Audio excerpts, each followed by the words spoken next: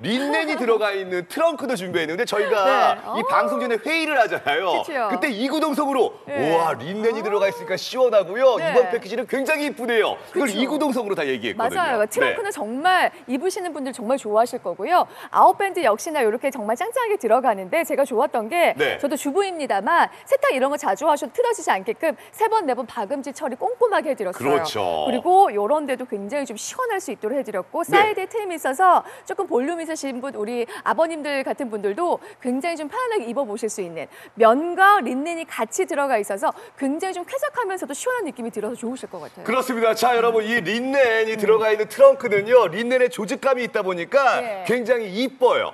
굉장히 좋습니다. 네. 그리고 가슬가슬거리는 느낌이 너무너무 시원하다 보니까, 자, 저희가 지금 보시는 린넨 패키지를요, 오늘 네. 일곱 장을 보내드리면서 네. 여기에서 끝나는 게 아니라 오리지널 패키지까지도 하나를 더 보내드려서 네. 트렁크가 무려 아홉 장입니다. 그렇죠. 무려 아홉 장. 그러니까 무려 네. 여덟 장을 보내드리면서 네. 여기에서 끝나는 게 아니라 린넨이 들어가 있는 티셔츠다. 지금 제가 입고 있습니다. 음. 가슬가슬거리는 느낌이 일품이고요. 굉장히 시원하게 네. 입을 수 있는 린넨 티셔츠를요. 묻지도 따지도 않고 모든 고객 여러분들께 보내드리면서 여러분 오늘 저희 7만 천 원대 가격으로 들어오지냐 트렁크냐 선택하시면 되겠습니다.